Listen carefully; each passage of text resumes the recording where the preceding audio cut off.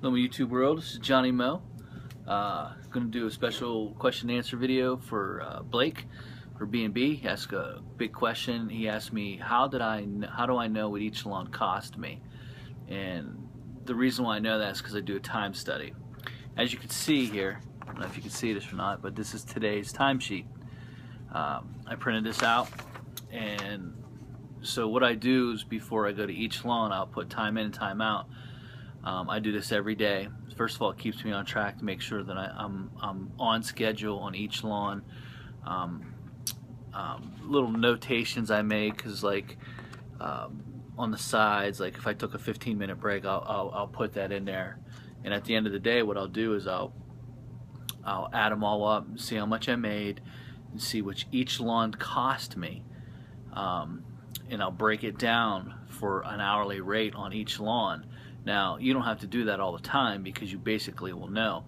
Like I know now, since it's been raining so much, the lawns are growing to a foot. It's taking me a little bit longer. So it helps me to understand um, for the time studies how long it's taking me, how long it takes me, and I keep these for years. I have a whole file folder full of these scheduled jobs and how many jobs I do and, and how long it takes to do each lawn. And then what I'll do is every once in a while, I'll get out, I'll take one say from May, I'll take one say from July, and then I'll take one from September, and then I'll average out the time on that lawn, and I'll get an average cost for that lawn. What that how how much money I'm making per hour on that lawn, and then once you know how much you need to make per hour, then you can know how much is that lawn making me money or is it losing me money, and if it's losing me money, what can I do to make it money? So basically, when you do your taxes or, or when you you know do your numbers and add all all of your stuff together and you find out what it costs to run your business per hour each of these lawns needs to be making you that dollar per hour that needs to run your business. And like I said in the previous video um, to this you need to know your numbers to that point before you start hiring before you start uh, making all kinds of moves making sure that each and every lawn is making you money. There are some lawns that you take because they're favors or, you know, because you're not really trying to make money on them. Um, and there are some lawns that maybe are adjacent to each other and, you know, you might give it a little bit of a discount because they're right next door to each other. The problem is when one of them leaves, then you get screwed. but that's how I do that, um, Mr. B&B, Johnny Mow. Uh, uh, I run time studies, and because of the program that I run, um, you don't have to run that, but you know I just print them out every day. Every day I print out a, a work worksheet for my lawns, and then I run the time in, time out, and I just take a look every every so often, make sure I'm making money on these lawns. What's this lawn cost to me? Am I hitting the dollar per hour? Um, you know, you can go overboard with that. Also, you can get to the point where you're so money conscious that the the work becomes you know you just get tired of it and then you run from lawn to lawn to lawn to lawn from you know from lawn to weed eater to blower to lawn weed eater blower. I mean it just you know it'll get in your head but at the same time you have to know if you're making money. You have to know um, how do you, how are you doing this? How, how are you you know what's your fuel cost for the week? You know i keep my receipts um, you know i think last week i used 47 gallons of fuel total um, so you add that times that by whatever the fuel cost was. That's your fuel cost for that week. Um, you know, every day I run a little bit of a profit loss. I'll, I'll, do max dollars in, what I spent for that day, and you know, subtract, and we'll make sure. And at the end of the month, you know, if you run that every day like I do on on a computer program, um, like I've showed you in the previous videos, um, you you'll basically know if you're making a profit or a loss. Um, I don't run QuickBooks. I'm not a big QuickBook fans. Um, the, I've explained this in other videos why I don't use QuickBooks. One of the main reasons is because of um, there's no scheduling feature in it. And like I said, my book work is done easy. I've showed you all that in another video, but I wanted to answer your question. Wanted to give you, you know, a quick answer, a little video, but to answer it because it's too hard to type all that. Um, but basically, I just do time studies on on each and every lawn you know, every day I route them. I try to make sure they're routed real tight. If I'm if I'm going to be in this section of town on this day, I want to make sure that I'm doing all those lawns in that section if I'm in that section, I want to make sure I do all those lawns. That, that way you can make maximum profitability on each and every lawn. And you know, sometimes you do you really have to put time in, time out every week? No, I do, um, just because. Um, kind of gives me a little bit of baseline. Like I'll go back like a month ago. Okay, I was at this property at this time. It was about one o'clock, so I'm there at twelve fifty. It kind of gives you like a little little bit of competition, just to you know, hey, I'm I'm I'm right on track. Uh, I generally don't like to work, you know, all day and all night. You know, I used to when I was younger, but as you get older, you just you just don't. I just don't want to, and you start working to seven, eight o'clock at night every single day. You, you'll hate your life. You know, you might like your job, but you can only do that for so many years, and you're trying to pile a lot of work in about eight months, and it's, it's hard to do. So that's your answer.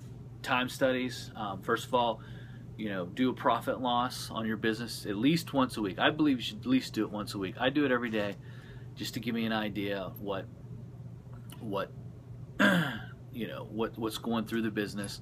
Like I said, I wake up every Monday. I pay from Monday morning. I pay the next ten days worth of bills. So that goes against that goes on to the the loss side. So on Monday, I start off with a loss. That's, I pay all the bills for the next 10 days and then generally I'll get gas at some point in Monday or Tuesday. And then as I come home Monday, like tonight, I'll write in. Um, I wrote in how much I did today, so that'll go on my profit side, uh, the, the, max dollars that I did for that day, and then you subtract it from from the loss that day. So say I get gas tomorrow, when I'm doing the book work in the morning, I actually do the book work in the morning, first thing in the morning when I get up. I'll put, okay, I, I got gas that day, so I'll put in the receipt Let's say it was $110, say $110 will go in the loss of that section. Say I had a breakdown that day and I had to go do a repair. I'll put it in the loss side of of the little program that I have. So, and then whatever I did for the day money wise, max dollars, I'll put it in there. And that's how I balance how I know if I'm making money or losing money. By the end of the month, you'll know. You know right away. Um, fortunately, unfortunately for this, in this business aspect, most guys don't run a profit loss. Um, if you're solo, do you really need to do that? Probably not. You're probably making enough money. But when you start adding employees, you start adding extra cost. What happens is you never run a profit loss. You never look at what you're doing. And then it comes to be about December, Christmas time comes, and you're spending money, and you still got money left over because you did some work in November. But then January comes, you're thinking, like, man, I really didn't make any money. Why is that? and it's because all the bills are starting to pile up from you making all those decisions, those quick snap decisions, because you're still going to pay workman's comp to the winter. You're still going to pay your extra liability insurance, general liability, and, and all of that. And um, so you just add all those costs up, you know, and then break it down monthly, and you can even break it down to daily, and then you can break it down hourly, and then you know, okay, hourly, if I'm going to work nine hours today, this is what I need to make to, to run this business. And then whatever the profit is on top of that if you can make profit um, and then you can break that down to each lawn. Okay this is this is how much this lawn's costing me.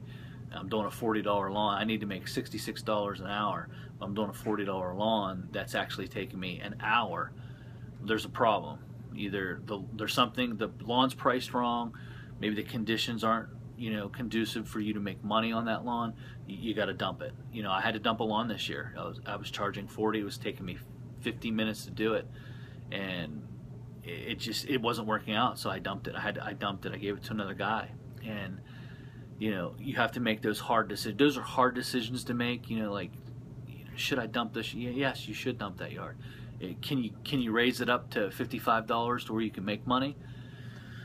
I don't know. It's fifteen dollars, so I don't know if they go for that. That's you know sixty bucks a month. Probably not. So you know those are the questions you need to ask yourself. Those are the, you know, how do you fix whatever it is you need to fix. But the first thing you need to do is definitely look at these numbers.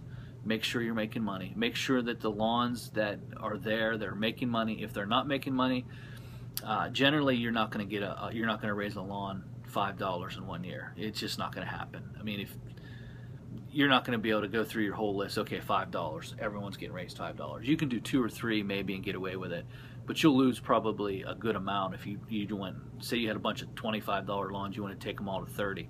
Uh, I don't think it's going to work out too well. It hasn't worked out well for me, but doing two dollars here, a dollar there, it works out pretty well. but adjusting the numbers, um, pricing the lawn right the first time. Uh, when I the lawn I dumped this year was in a neighborhood where I have a lot of saturation, and I just kind of drove up there, and you know he he came and got me, and Uh, I was cutting these other couple lawns, and the neighborhood they're all about the same amount. It's in a development, so I just ran up. I stood on the corner of his property, looked at it. Yeah, 40 bucks. And he's like, oh, sure, that's great. Okay, sign me up. So I did it for about two and a half months April, May, June, and the first week in July. And then I finally dumped it. It just, I couldn't make money on it and it was bringing my dollar per hour. And now listen to me. If you're doing a lawn for forty dollars and it's not covering your hourly what you need to make in this business, why are you doing it? You own the business. It's your decision. You know, you don't do work just to do it. Get, get rid of some stuff. You know, I mean, it, it wasn't cutting the mustard, wasn't making what I needed to make, so it had to leave. Having said all that, what is your dollar per hour to, to run your business? That's that's basically what it comes down to. That's how I do it. Good question and answer. I hope these little video series are, are, are helping you out, uh, you guys out there in YouTube. Um, I want you to make maximum profit. I also want you to have time to spend with your family. I also want you to to to, to not be so focused on work and money. Um, money's good to have. I've been broke and I've had money. Having money is definitely better. But at the same time, don't be so focused on, you know, money, money, money, money, money that you, you miss out on, on the, the greatest opportunities in life. Um, you, you know, when it's all said and done, I've said this before, you're not going to you're not going to sit there and say, "Oh man, I wish I would have cut my Monday route." When it's all said and done, you're sitting there at the hospital and you know it's time to, to move from this world to another world um, you're not going to be thinking about the money um, enjoying enjoying your life you know taking time to enjoy your life is, is very important. And um, that's my time. That's my answer to your question. You guys have a good one. Bye